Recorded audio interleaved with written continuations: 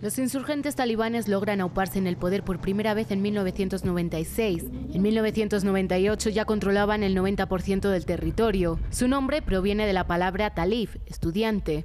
El grupo atrajo originalmente a radicalizados muyahidines o combatientes por la yihad, afganos y extranjeros que con financiación estadounidense lucharon contra las tropas soviéticas hasta su retirada en 1989. Los fundamentalistas, liderados entonces por el mulá Muhammad Omar, basaron su agenda en la interpretación rigorista de la ley Sharia introduciendo castigos físicos, la pena capital, erradicando cualquier expresión cultural y despojando a las mujeres de todos sus derechos. Pero también se nutrieron de la influencia tribal pastún, desde la frontera afgano-pakistaní donde comienzan a agruparse en 1994.